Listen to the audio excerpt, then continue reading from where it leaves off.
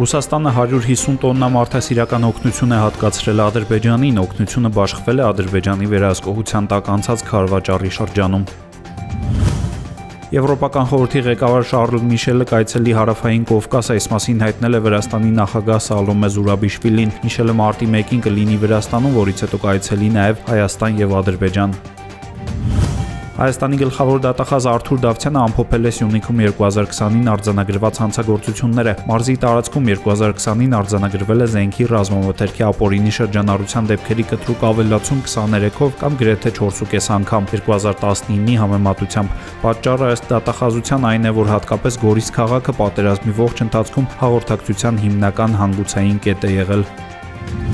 Բարձր տեխնոլոգիական ոլորտի մի խումբ գիտնական գործարարներ սկսել են գիտուժ նախաձեռնությունը, որով իշխանություններից պահանջում են մեծացնել գիտության ֆինանսավորումը։ Այսօր նախաձեռնության անդամներից մի քանիսը իրենց օրինակով բացատրել են, որ եթե կառավարությունը ֆինանսական հիմք դնի, գիտությունը կզարգանա ու կսկսի ֆինանսավորվել մասնավոր հատվածից։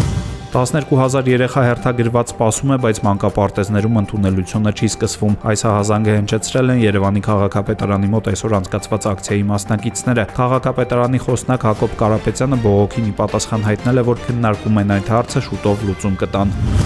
Հայաստանում մեկ օրում կատարվել է կորոնավիրուսի 1870 թեստավորում, որից հաստատվել է հիվանդության 89 նոր դեպք։ Մեկ օրում մահացել է 10 վարակագիր, որոնցից 6-ը հենց կորոնավիրուսի պատճառով։ Իսրայելը դարձել է աշխարհում առաջին պետությունը, որտեղ բնակչության կեսից ավելին պատվաստվել է նոր տիպի կորոնավիրուսի դեմ։ 10-ի հաշվարկների համաձայն 8.9 միլիոն բնակչության պետությունում պատվաստում է ստացել 5.54 միլիոն իսրայելցի կամ բնակչության 62%-ից ավելին։